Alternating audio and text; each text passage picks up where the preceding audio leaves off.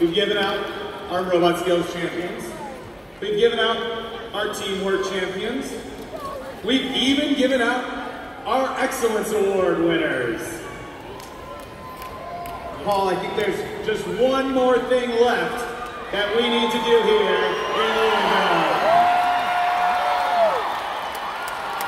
That's right. The jacket's coming off. I don't even need to ask if you're all ready because I know that this is the moment you've all been waiting for. So count it down with me. Three,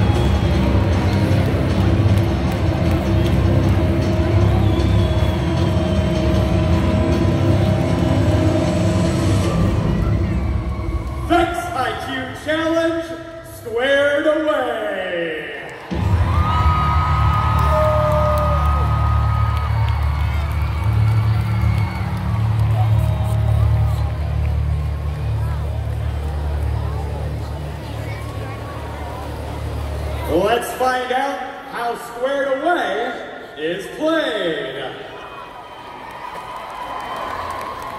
The 2020 game, Vex IQ Challenge Squared Away. There are three ways to play Vex IQ Challenge Squared Away. First, two teams will collaborate in 60-second teamwork challenge matches, working together to maximize their score. Both teams will receive the same points. Each of these teams consists of two drivers and one robot. One driver will operate the robot for the first half of the match, and the other driver will operate it for the second half. Second, each team will have the opportunity to play driving skills challenge matches. In these matches, teams have 60 seconds of driver controlled time to score as many points as possible. Third, each team will have the opportunity to play programming skills challenge matches, in which they have 60 seconds of autonomous robot operation to score points. No drivers. Vex IQ Challenge Squared Away is played on a 4 foot by 8 foot field. Robots and game objects start on the field in predetermined positions. There are scoring zones in the four corners of the field and three platforms along the sides of the field. Be sure to double check the robot and starting position rules this year, as they may not be the same as previous Vex IQ Challenge games. The scoring objects in Vex IQ Challenge Squared Away are 3-inch diameter balls and 7-inch cubes. There are a total of 35 balls and 7 cubes on the field.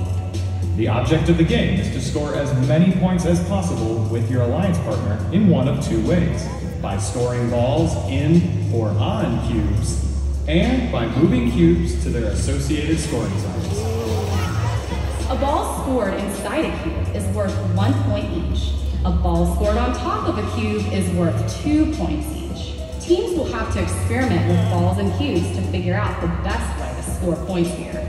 A red or blue cube scored in the same color scoring zone is worth 10 points, and a green cube scored on a platform is worth 20 points. Cubes and balls are scored independently of each other. So, if a robot places three balls on top of a cube, that alliance has just earned six points. Then, if they score that cube in a scoring zone, they have just earned 10 more points. That's a total of 16 points. For official robot requirements and game rules for VEX IQ Challenge Squared Away, please see the VEX IQ Challenge Game Manual found at roboticseducation.org and vexiq.com. To register a team, find events near you, or ask a question on the official Q&A, please visit robotevents.com. Good luck and have a great season.